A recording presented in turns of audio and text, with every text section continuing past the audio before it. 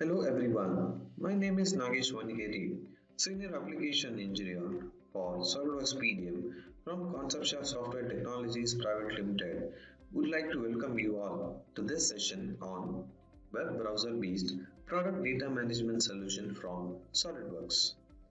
It's been two months, whole nation was under COVID-19 lockdown and designers were working on design projects from their home to maintain design continuity. We are introducing this video to educate our designers who are using SolidWorks CAD that they can manage the business continuity using SolidWorks PDM web browser solution. Ideal work environment for any design team is to work on a collaborative network under a single premises. But due to this unprecedented event of coronavirus outbreak, it has become difficult for teams to collaborate and build products. SolidWorks has a data management solution which manages file security, file revisions, file versions, and file approvals, etc. by setting up a database server, an archive server at your office location and connecting these client machines to your servers via a LAN network. For scenarios like coronavirus outbreak, the data inside the servers can be accessed through a web browser. In this video, we will demonstrate how SolidWorks PDM web application is going to help our designers to collaborate and build products using a simple web browser. Before we look into the features of SolidWorks PDM web application, let's see how a data management system can help an organization in building products. PDM stands for Product Data Management. We are concerned in managing the CAD data which designers create. PDM will organize CAD data on a single platform, control the access to the important engineering information, further shares the respective files to the users without anyone's intervention. And it also helps you to track the release of the assemblies for future activities.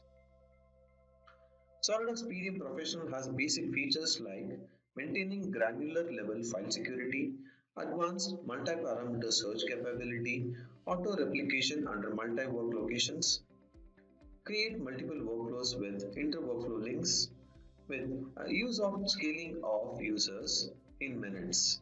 And at last, it has very minimal user training required because of its user-friendly interface.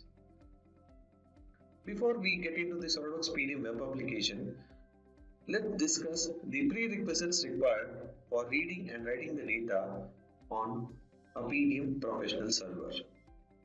Let's start with the access to the data for CAD users. They need to have a web browser installed. Along with the web browser, they need to have a configured PDM vault. With the configured PDM vault, to access the data, they need to have a PDM professional web CAD editor or a CAD contributor license and along with that they need to have access to SolidWorks CAD license to modify the data inside SolidWorks CAD environment. To read the data that is to, add, to have a preview of the CAD files and read more information about the CAD files users need to have a web browser installed and access to the PDM vault and a license to get an access to this data. Now let's look into the PDM web application interface. Let's go ahead and experience the interface of SolidWorks PDM web applications. In this demonstration, we'll see how we can go ahead and log in into PDM Vault, how we can access the folder structure inside the PDM Vault, and how we can read more information regarding the file or the folder and what are other details we could find inside a file or a folder and at last we'll see how we can go ahead and search a file inside our PDM web application. To access any data which is there inside our PDM professional server, you need to have a PDM login credentials. The login credentials decide the access to the files and folders. Here you can see there are different folders which are created Along with the folders, you can see the different projects inside the folders and inside projects you can again browse down and get more information about the files like preview of the files, the workflow and the state which it is flowing through. You can get more information in the data cards where you'll get the description, projects, revisions and everything and in the contains tab it will tell you the, the CAD and the non-CAD references attached to the file and at last variables tab will tell us in which all assemblies the files are being used to. So that's how easy it is to use SolidWorks PDM web application to access the data.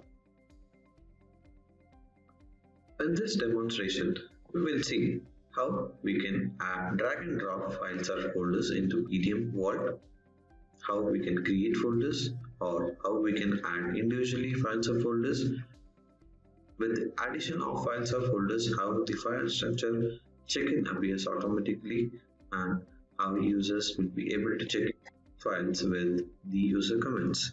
Creation of folder inside a PDM vault using a web browser is very simple. Just create, a new folder, enter the name of the folder and you are good to go.